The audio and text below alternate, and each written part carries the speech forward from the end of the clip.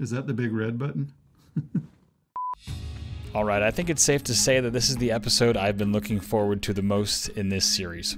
Welcome to episode 4 of Halo 2 Artifacts, where we'll be covering all of the hidden gems and unreleased features from Halo 2. I'm once again joined by Max Hoberman.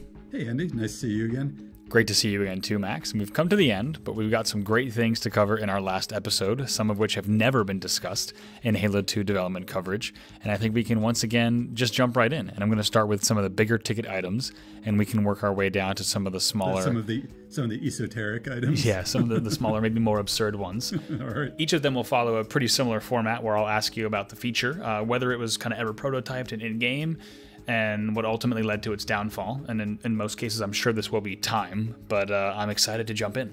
All right, yeah, let's do it. This feels like the uh, lightning round. Let's go. All right, so many fans will have seen videos from the Halo modding community, but let's start with a, a short single word that would have changed Halo 2 maybe more than any other item we'll discuss in the series, and that is sprint. Sure. Sprint is only mentioned in three of almost 300 files that I've looked at, but the first mention was uh, from a document from around May 31st of 2002, and it, it states that support class weapons are bulky, so the player cannot sprint while they are carrying one. Quick note here at this stage in development in 2002, there was still an idea for separate weapon classes, and they were divided into infantry, rifle, grenade, charge, and support weapons. The support weapon class included the Spanker rocket launcher and fuel rod cannon, and also cut weapons like the Covenant Shredder and Forerunner gravity rifle. The mention that players could explicitly not sprint with these support weapons is one of the few mentions of sprint in these early design documents. We've seen videos of, of sprint kind of working in like modded beta builds. Do you remember how testing it or how long it lasted in, in, in Halo 2? You know, that was part of the core sort of controls player package stuff that uh, Jamie Griesemer was the sandbox design lead was doing, mm-hmm. and he may have had that in his very very early goals, um, like first couple months before I was even officially you know designer on the project, mm-hmm. but it really didn't last very long because we never planned on sprint in any of our designs for multiplayer. We we never thought that it was right. going to exist. So I think it may have been you know musings that Jamie had early, along with something that did get prototyped. I, I, remember actually playing with it, which was lean, where you could peek around a corner and mm. lean. That actually got prototyped. I don't actually, it may have, but I never saw it. If, if Sprint got prototyped, I don't think I ever even saw it. Um, and it got decided against very, very quickly. Certainly mm-hmm. before I even had started on any of the map designs. Yeah, there's a few. A few of the weapons got sprint animations 1st mm-hmm. person, and, and and that was really it. Uh, see, now I'm curious. I'm a, next time I talk to Jamie, I'm going to ask him. Um, he'll, he'll, I'm sure he'll remember. But yeah, it was it was not part of the game uh, by the time I came on board. Gotcha. Uh, speaking of the early systems that Jamie was working on, there's also a mention in these documents of a sprinting melee attack, which is really interesting to see because it's a piece of the really robust melee combo system that was originally planned with multiple different types of melee attacks for each weapon. And we actually got a sneak peek at that system, and I think the only public look was in the E3 campaign demo when the brute tries to jack the warthog towards the end, and Chief jumps off the hog and hits the brute with three very quick melees that have different animations. Which none of us realized at the time were potentially part of a completely different system. Do you remember if that made it into builds at all, think, the, the, melee combo system? You know, I, not really, because it was never nothing. None of that was ever accessible to to multiplayer. I think that was just experiments that they were doing. Um, mm-hmm. Right, and the way it worked is all, all these features had to be, you know, they they could implement them for single player on a single console but then to actually get them working in a multiplayer environment, they had to be made network safe. They had to, you know, so sure. a lot of the experiments that they were doing, if if they never made it out the gate, you know, on the campaign side and the core systems, no one ever took the time to actually network them and you know give them to us to play with, so to speak. So I I, feel like I was just along for the ride as they were experimenting a little bit with some of that stuff, but mm-hmm. never never seriously considered any of it for multiplayer for whatever it's worth. Yeah, I don't know why, but I, I do think the decisions about some of those sprint and melee combos and some of those other things, I feel like those decisions to not go that path were made pretty early in development. Mm-hmm.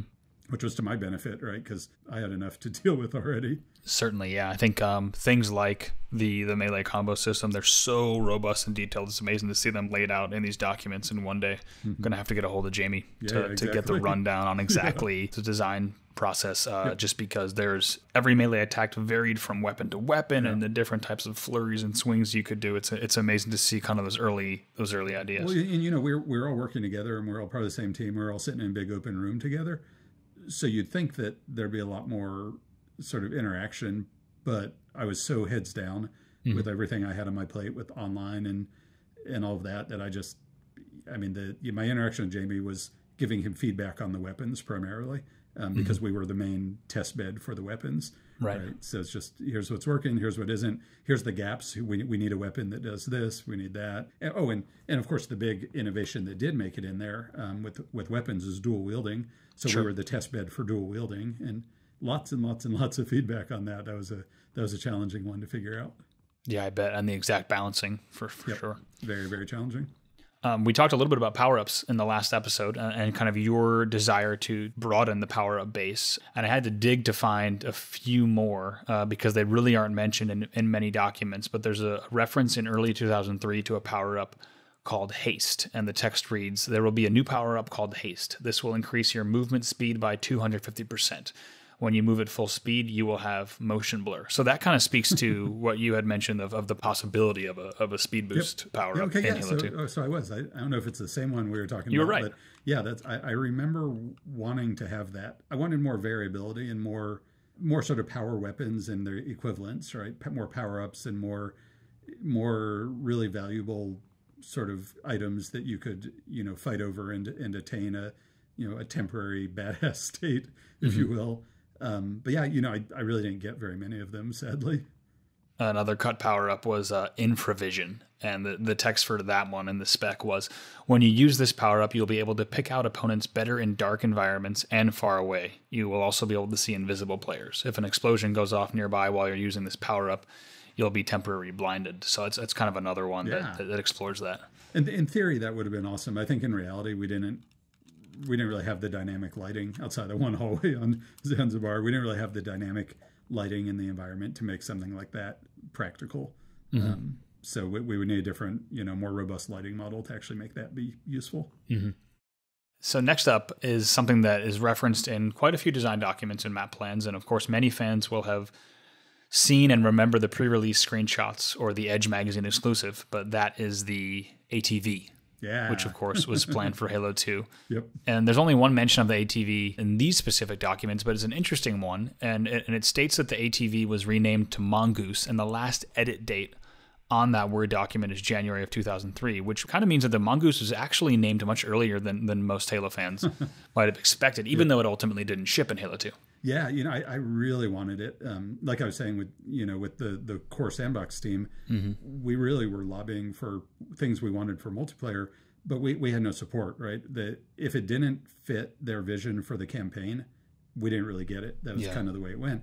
But that didn't stop us from you know eh, making our our voices known of what we would like. Mm-hmm. And and the one vehicle that I really I don't remember why anymore, but the one vehicle that I really really wanted for multiplayer was at the time the ATV and at some point we, we came close to getting it in there and that there was a, um, a vehicle modeler a guy named eric arroyo mm-hmm. and eric actually modeled the atv so like oh, we came so close but then just there just wasn't you know the team didn't have time to implement you know the controls and physics yeah. and destruction mm-hmm. or whatever whatever whatever other work I don't remember what it was, but sure, uh, yeah. we came so close. So then when we were working on Halo 3, of course, that was right out the gate. That was one that I just insisted on very, very vocally. Mm-hmm. It's like, all right, we didn't get it last time, but damn it, we're going to get it this time. Yeah. And I remember when we got it in there, uh, when we got it in and we played a big game, we, you know, on, um, on, uh, uh you're talking about Valhalla. Valhalla. Thank you. Thank you. That's yeah. it. Yeah. We actually first got the, got it in in Halo 3 on Valhalla and I remember when we did because it was just it was a hilarious moment because the way we implemented it is we we set it up so that it had two seats mm-hmm. and you could you know you could ride with uh, two Master Chiefs, one with his arm around the other one. Um, so it was fun. But everyone had a great time. It was a lot of fun. And then I was like, damn it, I so wish we'd gotten this in Halo 2. Yeah. that same Edge magazine article, the one that released way before Halo 2's launch, also showcased the Jungle Hog the Snow Hog with treads, and the Troop Transport Hog. But there were also a few in your documents that I don't think have ever been mentioned or seen. Yeah. And those were the Desert Camo Hog and the Night Mission Camo Hog. Those all those variants on the hog. That, that's one of the things those docs that didn't come from me. One of the, I would say, a few things probably because uh, I think those ideas came from Marcus, who was the art director. Mm-hmm. Um, and he really wanted to do all those variants on the hog. And of course, I was like, yeah, shit, I'll take it. yeah. Uh, but, but, then they never happened. But yeah, it's funny. He's online right now. I've seen him just his little hobby project is yes. Re- remaking his hog, right? Mm-hmm. He's a big fan. It's his baby. He's a big fan. And he really wanted those variants. Just in case some of you listening aren't familiar with what Max and I are talking about here, make sure to check out Marcus Lehto's Twitter at game underscore fabricator, where you can see Marcus revisiting some of his original Halo work and rebuilding his original Warthog, Mark V armor, and the MA5B assault rifle. The images are absolutely stunning. So once again, that's game underscore fabricator on Twitter. Another thing, there's one single mention in all the documents I have of a flashbang grenade, but yep. uh, there's also a mention in change notes from October 2002 that states that we are adding the ability to blind enemies that are looking at high explosive grenades and stun enemies that are just outside of the damage range to make it more useful for more than just damage. Do you remember anything about either flashbangs or um, additional attributes for the, for the frag grenade at the concept stage? On that one, I'm guessing that that might have been something that they were experimenting with for the campaign mm-hmm. you know in the audio and they get you know the the ringing right. in your ears and some of that stuff the cool effects and i think they might have been thinking about that for the campaign so naturally anything that i'll get i'll try and see, see if there's a place for it mm-hmm. so i think that might have been that but i guess they must have not ended up doing it for campaign um, so naturally we didn't get it for multiplayer there are so many early weapons that are detailed out, which is amazing to see. I think to get the the real rundown, we'd once again need to, to hear the lowdown from Jamie Griesemer. But there were so many things: the Blamite harpoon, yeah. the Covenant sniper rifle, the sniper rod, the disintegrator, the shredder, a gravity rifle, jackal shields, which we have seen in kind of modded beta builds. Are there any weapons that you remember, whether it's uh, the non lethal EMP mines, satchel charges, anything that jumps out that did make it uh, into the build that didn't ship, or, or, were they all pretty early? I don't, I don't think there were. I'm trying to remember. I, I was always pushing for more weapons. I always wanted more variety, um, and I was always pushing for more weapons. But I don't, I don't remember any making it there may have been, but I just can't recall any actually making it into multiplayer and then not shipping. Mm-hmm. I mean, I, I, really wanted all the way back from Halo One the the harpoon gun or whatever it's called that you see in the very first ever yeah uh, Halo build where I think the video released you shoot it into a tire, mm-hmm. um, that sort of thing. Like, yeah, that was really cool. Um, we were just desperate for getting anything that we could in, in, the campaign, they ended up creating a weapon pretty late in the game that was the Sentinel beam. Yeah. Right. You destroy the Sentinel, and then you could pick up its its beam weapon. I, I remember that came really. That was probably the last weapon that came in the campaign, and so I ended up adding that to the uh, multiplayer palette at the very very end and just tossing it in there. But that's one of the reasons it's not uh, our standard weapon mm-hmm. in multiplayer. We didn't have any time to tune it and tweak it and figure out how it how it fits. So it's just like, why not give it to people as an option? Sure, go to town. Yeah.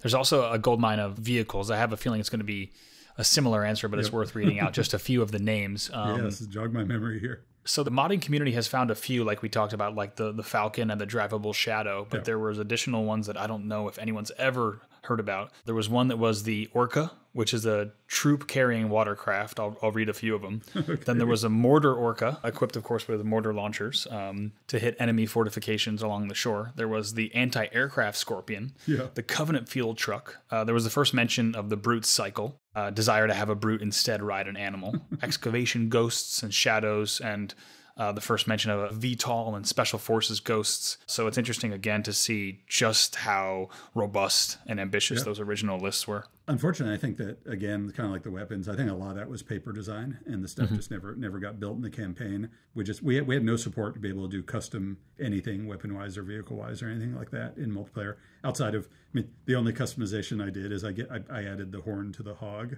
so mm-hmm. very limited customization uh, yeah, unfortunately, because I would have gone to town with that stuff. It would have been a lot of fun. Certainly, it's amazing too how just how far a lot of the designs were. If you like, Jamie had kind of already mapped out all of the different damage zones for yeah. just about all of those vehicles, and down to a crazy level of detail of how those yeah. how those vehicles kind of behaved. Yeah, and, I, and some of that it's possible some of that was leftover designs, you know, th- or desires from Halo One because I know they they had a lot that you know on the cutting room floor, so to speak. Sure, sure, of course.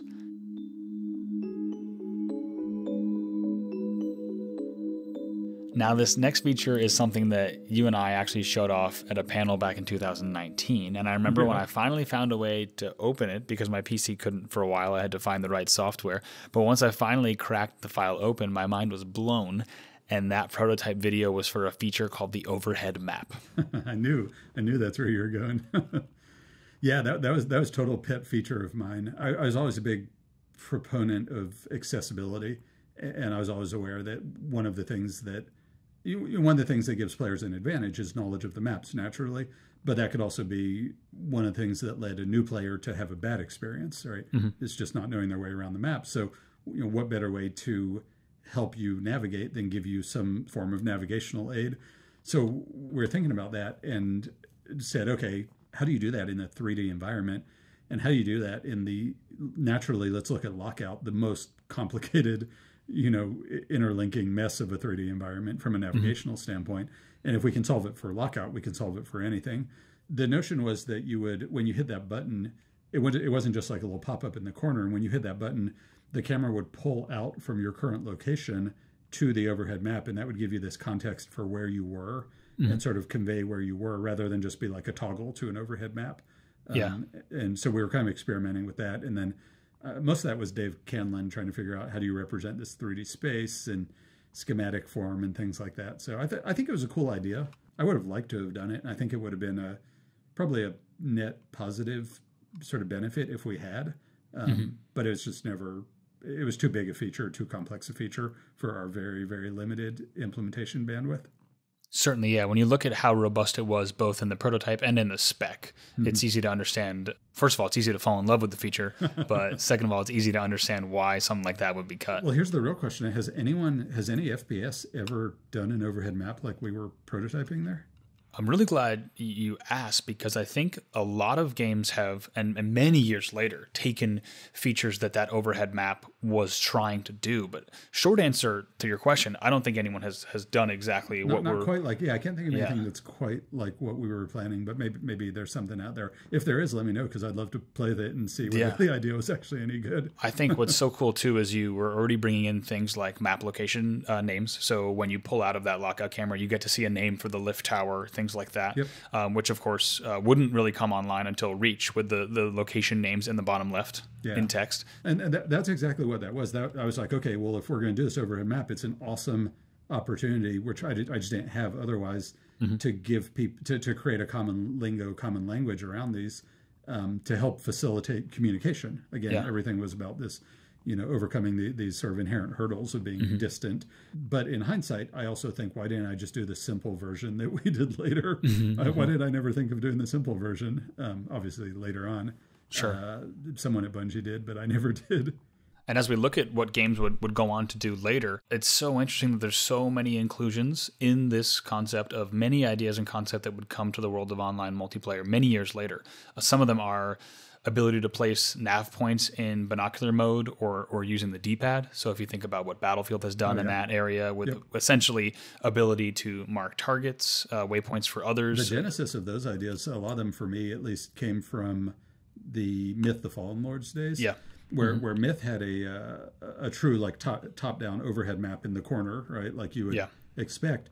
But it had this awesome feature in multiplayer where you could actually mark it up and draw on it, and everyone in your network game, yeah, you did mention that, yeah, would see, and it was cool, right? It's like, okay, guys, here's a strategy. It's kind of like the football coach, right? Here's yeah. the play, and it was amazing. So a lot of that was like just me remembering how useful that was for coordination, mm-hmm. so, right? And, and, trying to figure out what's our what's our analog for that? What's our version of that? Um, so yeah, cool ideas. I I doubt I was the first person to have them, and uh, it's cool that some of them finally came to the world of games.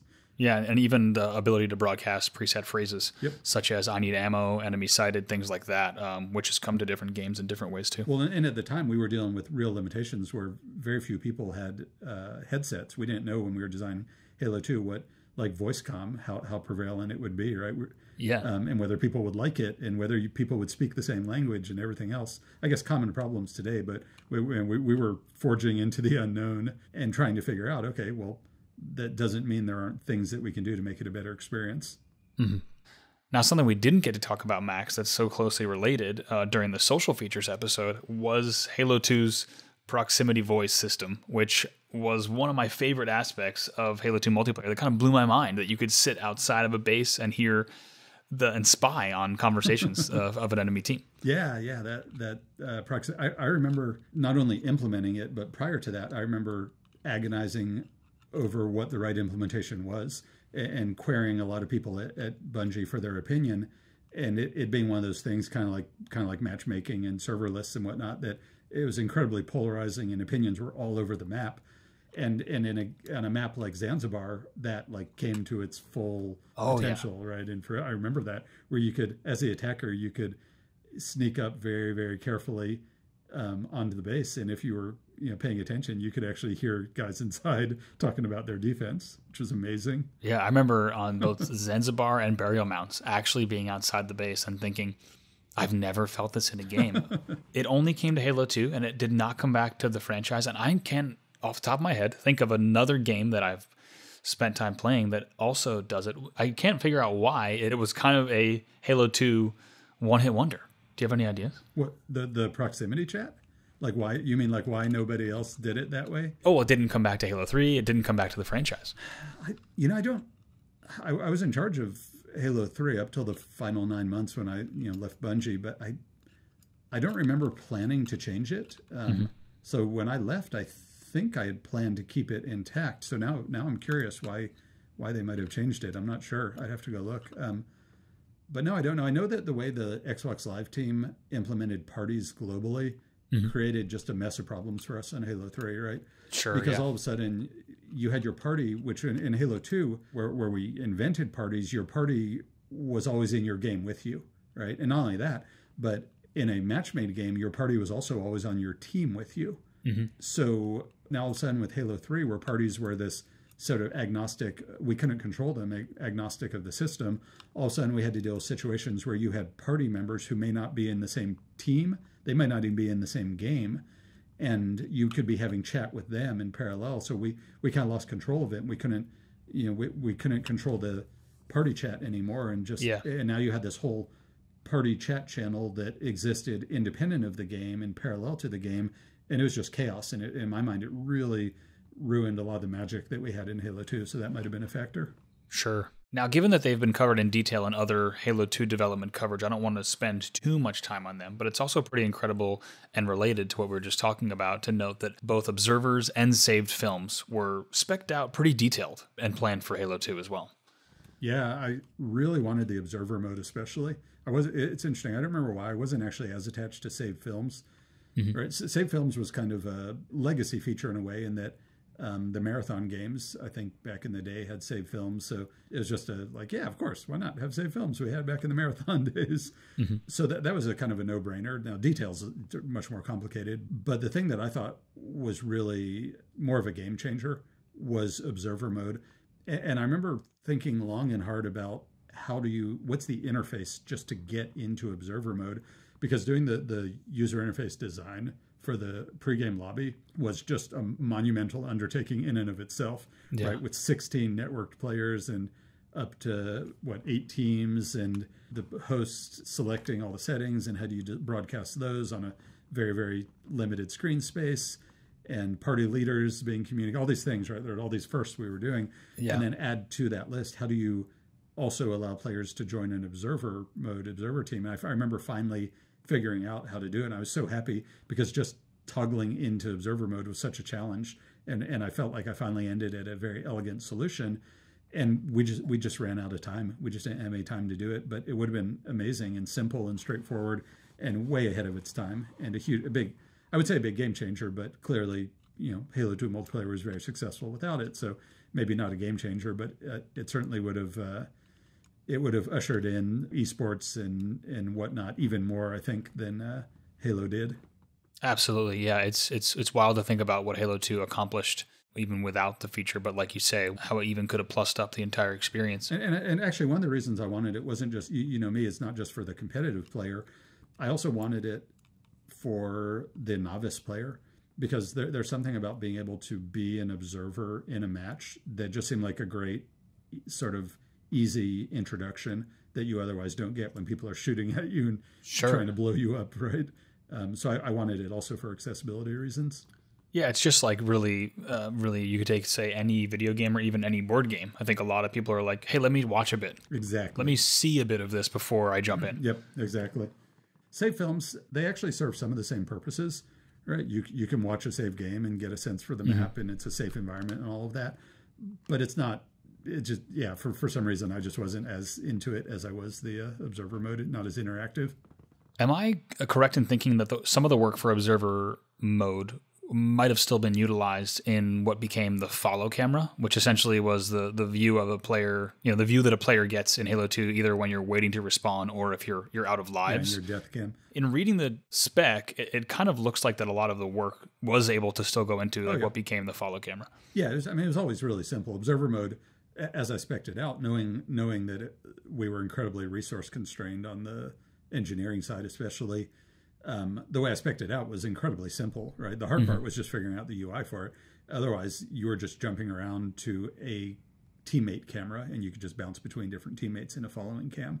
It, it really was nothing more sophisticated than that, if I recall, or v- not much. You have the design docs, so you know it wasn't much more sophisticated than that.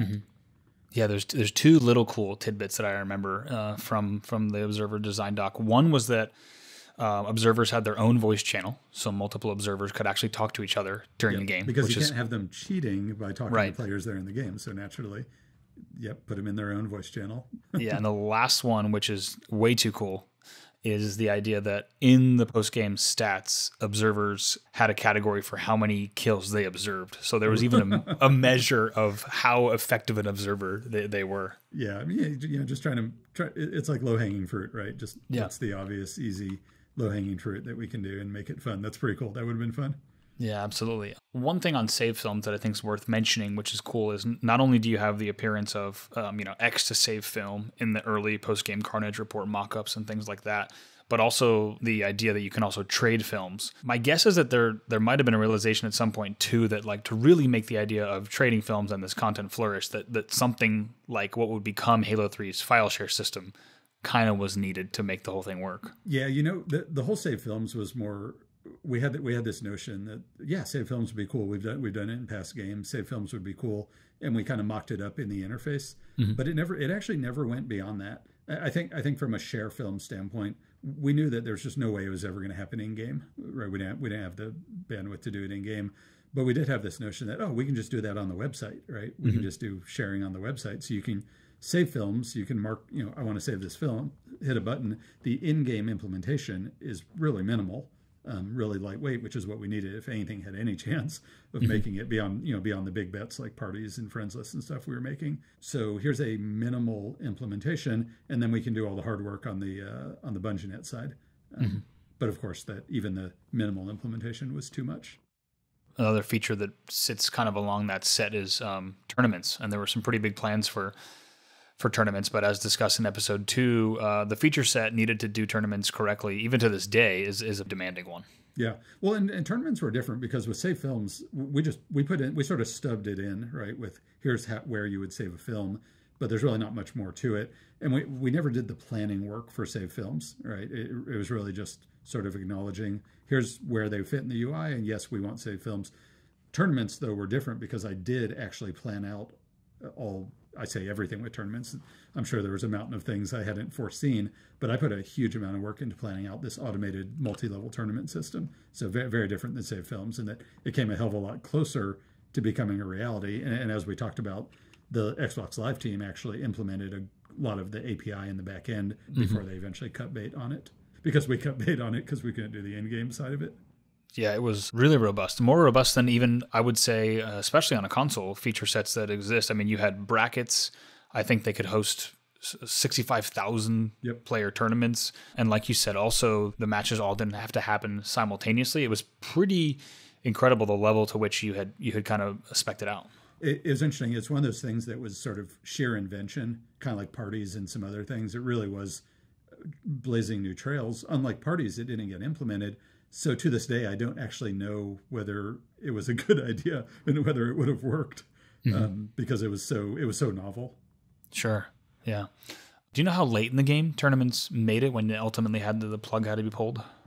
Um, it was definitely in the last year that you know kind of slow realization about what what's going to make it and what what wouldn't. I, I remember giving the Xbox Live team a sort of early warning because I knew they were doing a lot of work on the tournament API, and I remember in the sort of final year giving them a warning that we're probably going to make some cuts, and the first thing that we're going to cut, if we do, will be tournaments.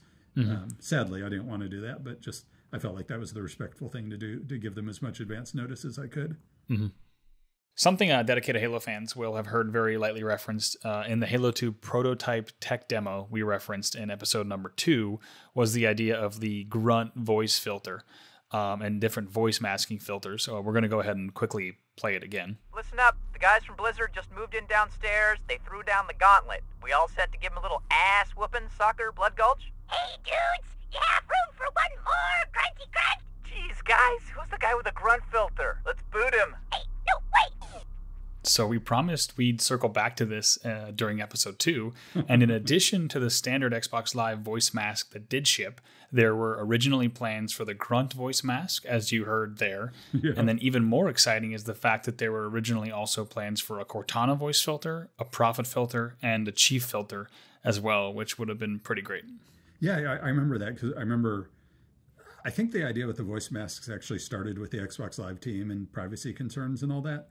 And I think our, our take on it was okay, you know, we get it, but why take you out of the fiction, right? So Right. that's kind of cool. What if we, you know, we have these cool characters? What if we sort of fictionalize it in, in our world and, and give you this optional different voice masks? And then it kind of keeps you in the fiction of the game a bit more.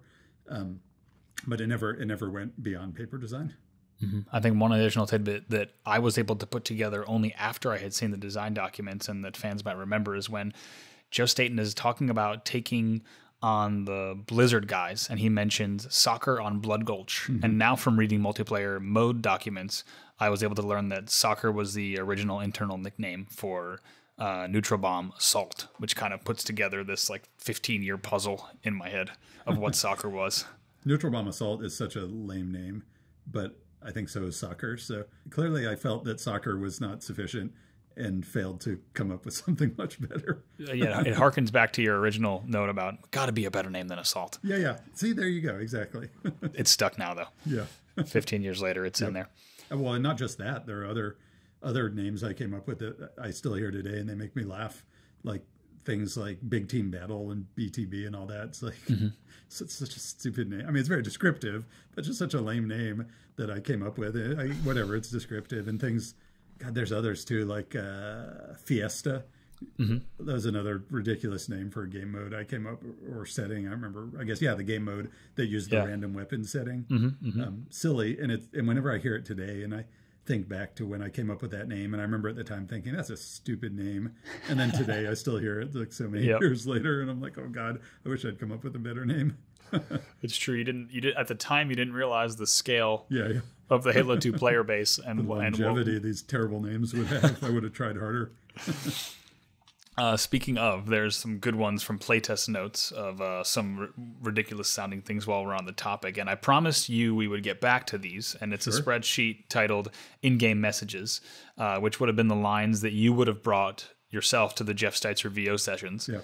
To record the multiplayer announcer lines, and there's some medals and in-game events that I don't think have ever been discovered or discussed. I don't think they made it into game code, which is why they kind of only live in these documents. So the first is a set of bomb multi-kill events, and we're gonna have to see if we can get Jeff Steitzer to, to give us these after all these years. But some of the bomb multi-kill events are pretty fantastic. So instead of double kill, triple kill, uh, etc., players who are getting multi-kills meleeing with the bomb would have heard bombtastic, bombalicious, uh, knuckle sandwich, body blow, own Zord, and sucker punched, um, which all would have been pretty good Steitzer VO.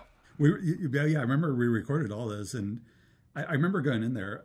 I didn't have any experience with uh, you know doing the audio recording, and at some point I got very short, very little notice that hey, Steitzer's coming in, and we we'd like to just get knock out all these audio because he's gonna be busy with other stuff later, and we'd like to just get it done. So hey, you've got like I don't know two days or something to mm-hmm. figure out all the all the multiplayer announcer audio that you ever might need on this game. Yeah. I was like, oh shit, okay. so I just you know so I just sat down at that spreadsheet and just started filling it with ideas of you know things I wanted, things I might get, things I might want to use, right. just as much as I could, just all the variety I could think of. And just on the off chance that we might get this feature or we might get this ability to permute, you know, these things or whatever without actually knowing whether I was going to get any of that. So that that's what that represents. But yeah, we actually did record all those lines in that spreadsheet, plus some that he improvised also a little bit. Mm-hmm. So there's also more in that audio session. It's true. There's even more we don't know about. Yeah. There's a few other good ones that never shipped, but I'm sure were recorded from that same session. Um, for vehicle related medals, there were Kamikaze, uh, Look Both Ways, and In the Noggin. and then a few extras. One is Blowout, maybe after a steak dinner or something on a, a 30 kill uh, yeah. win, or a 20 kill win, rather. Another is Try Harder. then Turn Down the Suck, which, funny enough, ended up being a Marine quote that was used in campaign. Yep. And probably my favorite uh, that I that I gotta find is uh, just holy shit, which well, would know, be. You know what's funny good. about hearing you say all those is I actually have a really vivid recollection of sitting in the booth with Marty mm-hmm. while Steitzer actually did every one of those. So on on most of those, I actually ha- can remember exactly, or not exactly, I couldn't repeat it, but I remember him mm-hmm. doing his variation on turn down the suck and all that. and uh, so we got to find those audio recordings. We he's do. amazing. I was I was blown away he's so incredibly talented. And then when Marty would be like, well, let's do it again and let's do it a little this way and that way and mm-hmm. do permutations on turn down the suck. It's just, sure. a, just a fun, fun experience. So after Max and I recorded this, I am excited to say that I was able to get a pretty good surprise for this episode. Hey, Max and Andy, this is Jeff Steitzer. That's right, I can't believe it, but Jeff Steitzer was kind enough to send over a few of the unreleased Halo 2 multiplayer lines and re record them for us for this show. Uh, here are the bomb multi kill medals that we referenced earlier. You might recall that the first one was Bombtastic. Bombtastic! And even better yet, for the double kill, Bombalicious. Bombalicious! And Jeff even sent over a few versions of each, so here's a slightly heavier and thicker version I've also taken a liking to. Bombalicious. And lastly, perhaps the best of the bomb multi kill medals, and maybe one of the best medals to never officially make it into a Halo game Knuckle Sandwich. Knuckle Sandwich. God, that's good. Before we move on, I want to give a quick shout out to Jeff Steitzer for sending over some audio. Uh, you are a legend, and we're so lucky to have you as such an important part of the Halo franchise. Thanks, Jeff. Before we start to wrap up, I think we've got time for just a few more hidden gems from Max's design documents. Okay, Max, there's a few cool things on early versions of the post game Carnage reports. Uh, two things that were originally specked out maybe to be included in the PGCR. One is kill steals, which is yep. originally included as a stat line, but that could have uh, greatly exacerbated some post game Xbox Live arguments. and another one. Did we not? Did we not implement kill steals? Oh, no, no. Of course, you can see assists and things like that, which ah. people, which a lot of people ended up, you know, saying were were yeah, kills yeah. that had been stolen, but never. Ah, that's a bummer. I, I I don't know why we didn't implement it. We should have. Yeah, there's there's another one um, that was at one point in the plans, which was days at level, which would have displayed how many days you had essentially been stuck. shame. Yeah. yes, how many days you would have been stuck at your multiplayer ranking, which also probably would have done more harm than good, but I still think it would have been fun. Well, and I, I learned that lesson on Halo Three when I was like, okay, when you get stuck, we still need to give you a hill to climb, so to speak, or a progression. Right. So we ended up having this experienced based, and I think that ended up being a bit of a mark of shame Mm-hmm. So I, yeah, really glad we didn't do that in Halo 2. Yeah. a cool um, note on just how robust the original plans for teleporters uh, were, which we talked a little bit about in the previous episode. But uh, a document from late 2002, early 2003 states uh, Halo 2 split screen multiplayer will support teleporters very similar to Halo's teleporters, but there will be two key changes. First, players will be able to fire weapons and throw grenades and net game objects through teleporters. Teleporters that link one to another will use the same shape and color, helping kind of educate players on where each teleporter goes. Do you remember if anything like this got concept further, or if it, if it stayed on paper? Yeah, unfortunately, it's just on paper because I really wanted that. I, I, thought those would be good sort of usability aids. Mm-hmm. Um, and, and also just good fun being able to being able to toss grenades through teleporters and whatnot. So I really wanted them, but yeah, they just never got implemented. We got the basic because because teleporters were not one of the campaign features. So it's one of the few features that really was multiplayer specific. That's true. So, but what we got, again, we were so starved for engineering support what we got was just the bare minimum and then we lived with it. yeah. It's pretty interesting you bring that up and you bring up that distinction because even after working on Halo myself for so many years, there's there's not a lot of other items that are in that bucket, right? That are in either the sandbox yep. or environment objects or things like that that are multiplayer exclusive. Oh, at least in Halo 2, exceptionally few. Yeah. Um, almost nothing, along with like rocket ammo and a few other things. Yeah. There's almost yeah. nothing. Absolutely. Max, after talking about all of these today and, and letting me um, very graciously, I thank you uh, very much, jog your memory um, through through these these old documents. I thought, I thought, I um, had a good memory, Andy, but some of this stuff I, I mean, you've definitely jogged my memory, but uh, I expect there's more now. I now I want to go look at these old design docs again because there's some fun stuff in there that I hadn't thought about in 15 years yeah, there's even more things that I can't wait to even spend a little bit more time yeah. uh, looking over. Uh, after talking about all of these, are there any other um, features that, that come to mind, or, or things you feel like we didn't get to talk about? Hmm, that's a that's a good question. There, I mean, I feel like all my all my ideas were put on paper, so you seems like you would have probably gotten a sort of a peek behind the curtain, so to speak. I was definitely good at uh, putting everything down on paper. I don't know why that was, but uh, well, I'm, I'm thankful. Well, for our purposes here. I was right? going to say I'm thankful for it, and I'm sure our yeah. listeners are, are thankful for it. As we close out this episode and series, uh, this year, of course, Max is the 20th anniversary of the franchise. Uh, after all this time, is there a favorite memory that sticks out uh, from working uh, on these games?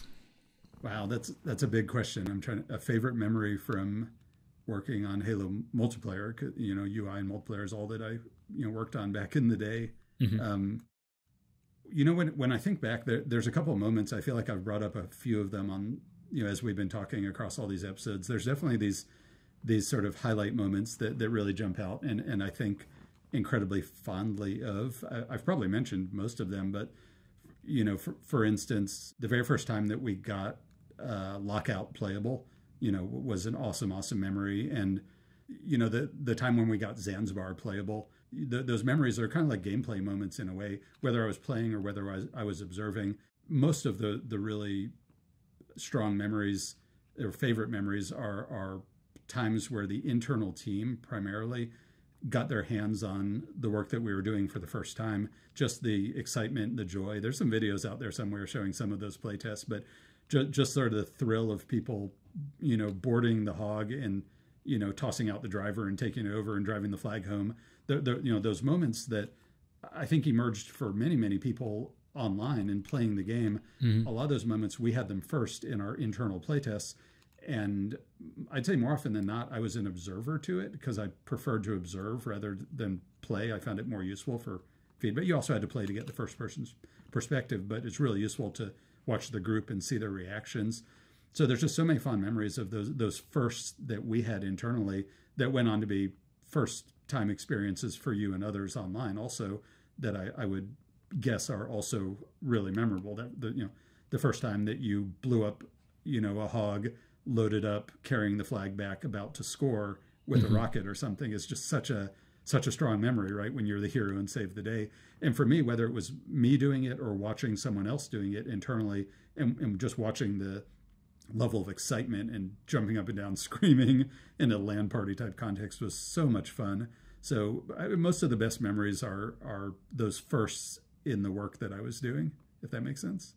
Oh, it absolutely does, and I think For me, I can think back to my first days and weeks playing Halo 2 on Xbox Live, and I think we all have those moments, whether they were One Flag, CTF, Zanzibar moments, or whatever um, they might have been. I think listeners as well, they kind of share that too, where you had these, uh, yeah, like you said, the gameplay moments, the montage moments that stick in your, you know, you can replay them almost just as clear as the day that they took place. And I think that's, it's pretty powerful and it speaks to just how new, fresh, and innovative the gameplay was. Well, yeah, and, and for me, when I think about those moments, those, those were motivation and inspiration, right? Because we had this amazing moment in an internal playtest. I, I would then take that input, really, that data, and go back and think, holy shit, how, how do I ha- make that happen more often? Right? Yeah. What what can I do? What can I change to facilitate making that happen for more people or making that happen more often? and really you know that that input ends up feeding the game design the weapon layout the map design etc and and it's balanced by just as many or probably significantly more crappy moments too where everyone's yelling and throwing their controllers at the ground and mm-hmm. frustrated and in the same way you look at those moments you're like okay how do we prevent that from happening? How do we add a new path? How do we limit the ammunition on this weapon? But the guy who was on the sniper spree also had fun so we can't totally nerf it. And you know that that the play balance aspect of making multiplayer is so much fun. And, and when you get to develop in a and playtest daily in a LAN party setting 10 times more fun. Mm-hmm. Certainly. I, I really can't thank you enough, Max, for first of all, to you and the entire uh, Bungie team for the contributions to not just the world of online multiplayer, but uh, you know the amount of amazing experiences and lifelong friendships and so much more that has emerged from these games. And then also for you letting me deep dive into these design documents um, and it's it's been such a pleasure. And i feel like even after these episodes there's still more to discuss the next time we see each other. Yeah. Yeah well thanks for you know thanks for taking the time. And i know that halo multiplayer has had a huge impact on you and uh, i appreciate that you're i appreciate that you're such a fan that you know you're willing to dive through all those old design documents and you're willing to take the time and uh, share share some of the experience with uh, other people because uh, you know, for me it obviously a lot of a lot of the, this work is really um, significant for so many people that uh, it feels strange to not talk about it and talk about how it all came about. So I, I really appreciate the forum. Oh, you bet. I've, I've had a blast, and I hope you've enjoyed it too. Oh yeah, for sure. I can talk about Halo multiplayer all day. To all our listeners, thank you so much for joining us on this journey. We hope you enjoyed listening, and we look forward to seeing you at Halo and Gaming community events as they start to resume. If you see us, please stop by and say hello, and to stay in touch with us, follow Max on Twitter at Max Hoberman, and I'm at Brav, B R A V. This has been Halo 2 Artifacts. Thanks for listening. Thank you. The final episode of Halo 2 Artifacts was written, produced, and edited by me, Andy Bravo Didinsky. Special thanks go out to Max Hoberman and the entire Halo 2 team at Bungie, and I'd also like to thank Jay Goldberg, Dave Lowmiller, Tahir Hasanjekic, and Sydney Goodman. Music is used under license from Epidemic Sound. Halo is a copyright of the Microsoft Corporation, and Halo 2 Artifacts was created under Microsoft's game content usage rules. It is not endorsed by or affiliated with Microsoft. If you enjoyed this show, please consider leaving a rating and a review on your favorite podcast platform. Thanks for listening, and here's to the next 20 years of Halo.